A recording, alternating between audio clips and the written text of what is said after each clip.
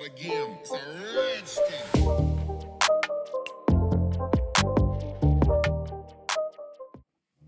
Hey guys, it's Amzeee here and today I'm going to be showing you how to get the wrong game badge plus the Among Us morph.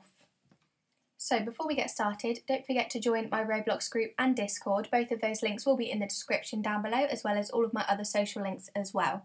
And I've just added some clothes to the store in my Roblox group, so I'll put a picture of those on screen, so if you want to check them out, that'll also be linked as well. So, what we need to do is just head through this door here and then through here into this lobby area. And then where it says morphs over here, we just want to run behind that and just touch the wrong game badge. So here it is awarded to us. And then to get the morph, what we need to do is head to the badge section and we just want to head all the way up to the top. And then once we've headed all the way to the top, we just want to head through this green door here and then we want to run to the back of this area as well.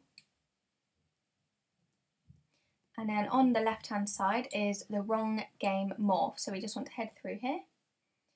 And here is the little morph. This is what it looks like. It looks kind of like a little jelly bean on legs, which I think is quite cool. So yeah, I hope you guys enjoyed this video. If you did, don't forget to like, comment and subscribe for more and turn on my post notifications so you never miss an upload again. And I will see you in the next video. Bye!